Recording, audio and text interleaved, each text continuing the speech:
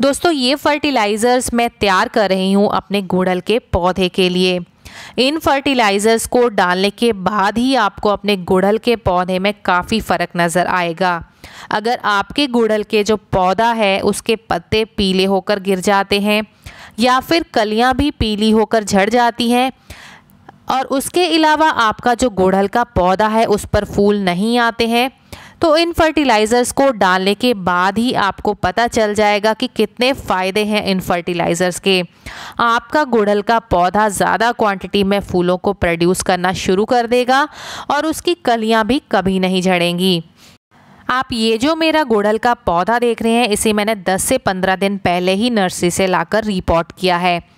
और जब मैंने इस पौधे को रिपोर्ट किया था, तब मैंने इसमें गोबर की खाद और सूखे हुए पत्तों को मिलाया था।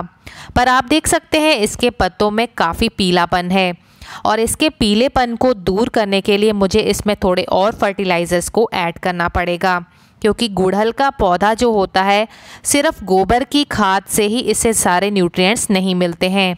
हमें अपने गुड़हल के पौधों में थोड़े और न्यूट्रिएंट्स भी डालने पड़ते हैं। तभी जो हमारे गुड़हल के पौधे की न्यूट्रिएंट्स की कमी है, वो पूरी हो पाती है। क्योंकि गुड़हल का पौधा एक हैवी फीडर प्लांट होता है, यानी इसे ज़्यादा मात्रा में खाना चाहिए होता है ज़्यादा फूलों को प्रोड्यूस करने के लिए। तो जितनी एनर्जी हम अपने पौधे में डालते हैं, उतने ही ज़्यादा फूल हमारे पौधे में आते हैं। अगर हम कोई भी फर्टिलाइज़र अपने फूलों वाले पौधों में नहीं डालते हैं तो हमारे जो फूलों वाले पौधे होते हैं, वो कभी भी फूलों को प्रोड्यूस नहीं करते हैं। अगर फूल उनमें आते भी हैं तो वो बहुत ही छोटे साइज़ के आते हैं और बहुत ही थोड़ी मात्रा में आते हैं। इसलिए ज़्यादा फूलों को लेने के लिए हमें अपने पौधों में फर्टिलाइज़र डालना बहुत ही ज़रूरी रहता है। तो चलिए फ्रेंड्स देखते हैं हम कौन से फर्टिलाइज़र्स अपने गुड़हल के पौधे में डालने वाले हैं। तो यहाँ पर मैंने one fourth spoon Epsom salt का लिया है। इसे मैं आधे लीटर पानी में डिज़ोल्व कर रही हूँ। एप्सम सॉल्ट डालने से हमारे पौधों में जो क्लोरोफिल होता है, वो ज़्यादा मात्रा में बनने लग जाता है। जब क्लोरोफिल ज़्यादा बनता है तो हमारे पौधों के जो पत्ते होते हैं, वो हरे भरे रहते हैं और काफ़ी बड़े साइज़ के हो जाते हैं। और उसके अलावा मैंने यहाँ पर लिया है one fourth spoon potash potash जो होता है, हमारे गुड़हल के पौधे की जड़ों को मज़बूत बनाता है और ज़्यादा क्वांटिटी में फूलों को प्रोड्यूस करता है। इन दोनों फर्टिलाइज़र्स को अगर आप महीने में एक बार अपने पौधे में डालते हैं तो आपका पौधा ज़्यादा क्वांटिटी में फूलों को प्रोड्यूस कर पाता है। पर केमिकल फर्टिलाइज़र्स डालने के साथ साथ मैं अपने गुड़हल के पौधे में कुछ ऑर्गेनिक फर्टिलाइज़र्स भी डालूँगी। क्योंकि जब भी मैं अपने पौधों को फर्टिलाइज़ करती हूँ तो मैं कुछ केमिकल फर्टिलाइज़र और कुछ ऑर्गेनिक फर्टिलाइज़र्स को ही मिलाकर फर्टिलाइज़ करती हूँ। क्योंकि ऑर्गेनिक फर्टिलाइज़र्स हमारे पौधों की जो मिट्टी होती है, उसकी उपजाऊ शक्ति को बनाकर रखते हैं। तो फर्टिलाइज़र्स पौधे में डालने से पहले हम अपने पौधे की अच्छे से गुड़ाई कर लेंगे।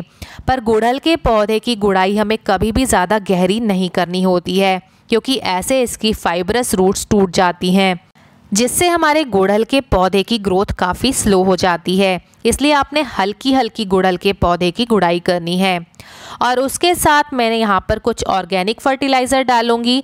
इसके लिए मैंने लिया है यहाँ पर एक चम्मच नीम केक फर्टिलाइज़र नीम के एक फर्टिलाइज़र जब हम अपने पौधे में डालते हैं तो हमारा पौधा काफ़ी तरह की बीमारियों से बचा रहता है और फंगस से भी बचा रहता है।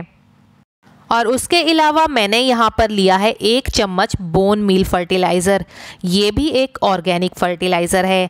इसका इस्तेमाल हमने सिर्फ़ दो महीने में एक बार ही करना है, क्योंकि इसमें फॉस्फोरस की जो क्वांटिटी है, वो थोड़ी ज़्यादा होती है और हमारे गुड़हल के पौधे को फॉस्फोरस थोड़ा कम चाहिए होता है। और ये थोड़ा स्लो रिलीज़ फर्टिलाइज़र भी होता है। इसलिए हम इसे दो महीने में एक बार ही डालेंगे।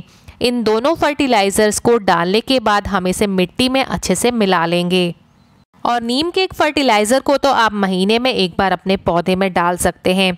और उसके अलावा आप एक या दो मुट्ठी वर्मी कंपोस्ट की भी इसमें डाल सकते हैं। पर मैंने हाल ही में अपना पौधा लगाया है और मैंने लगाते समय इसमें गोबर की खाद डाली थी, इसलिए अभी मैं इसमें वर्मी कंपोस्ट नहीं डाल रही हूँ। और उसके साथ साथ जो हमने पोटाश और एप्सम सॉल्ट को डिज़ोल्व किया है, उसे भी हम अपने पौधे में डाल देंगे। और ये जो मैंने मात्रा ली है, एप्सम, सॉल्ट और पोटाश की, ये मैंने अपने आठ इंच के गमले के लिए ली है।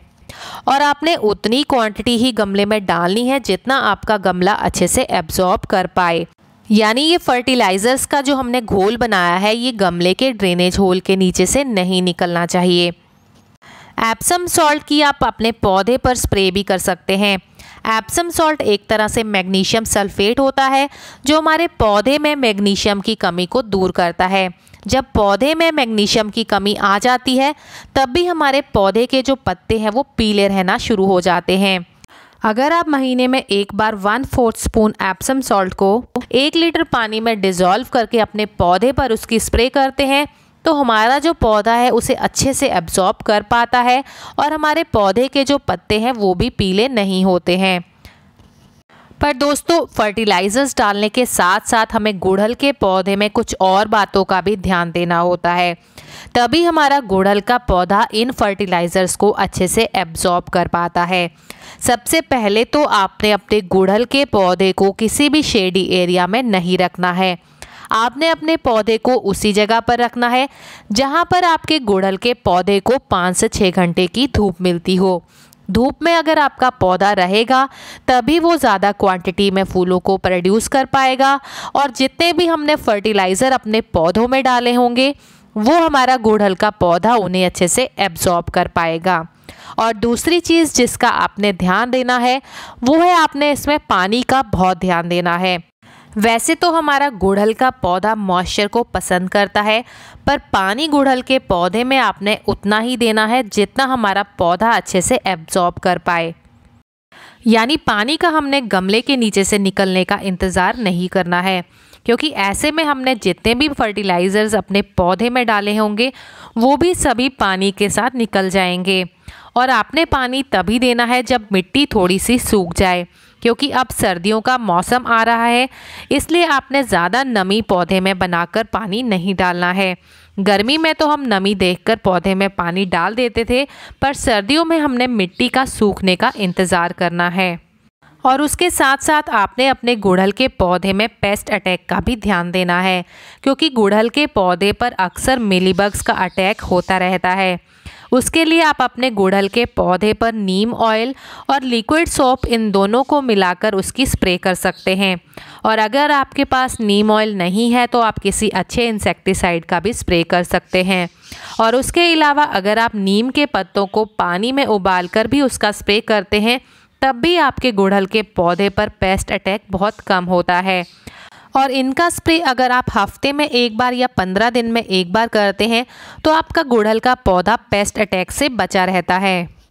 तो दोस्तों, इस तरह से अगर आप अपने गुड़हल के पौधे का ध्यान रखते हैं, उसमें महीने में एक बार फर्टिलाइज़र डालते हैं तो आपके गुड़हल के पौधे पर बहुत ही बढ़िया फ्लावरिंग होगी। तो फ्रेंड्स आज के लिए इतना ही। आज का वीडियो आपको कैसा लगा प्लीज़ कमेंट करके ज़रूर बताइएगा। Thanks for watching guys